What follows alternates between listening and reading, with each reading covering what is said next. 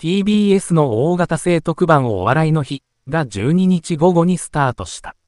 第1部は MC かまいたち、夜のキングオブコント2024は例年通り MC 浜田雅俊が務める。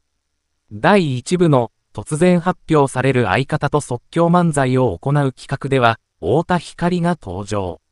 ステージ横から乱入してきて、客席に突入してカメラスタッフに掴みかかって大暴れした。騒然となる中、ステージに連れ戻されると、はーい。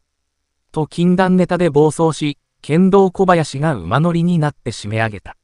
お笑いの日に一言を求められると、何がお笑いの日だバカ野郎。今まで一回も呼ばれたことないわ、お前ら。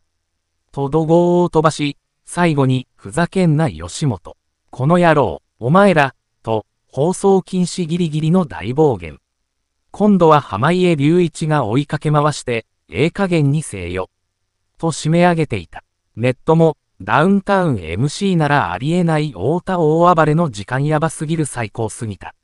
マジで、さすが太田さん W。やっぱり生放送で暴れる太田光が大好き。土曜のお昼の生放送に太田光さんを野放しは危険 W。生の太田光最強説。生放送の太田光さんはヤバい W と笑いが広がった。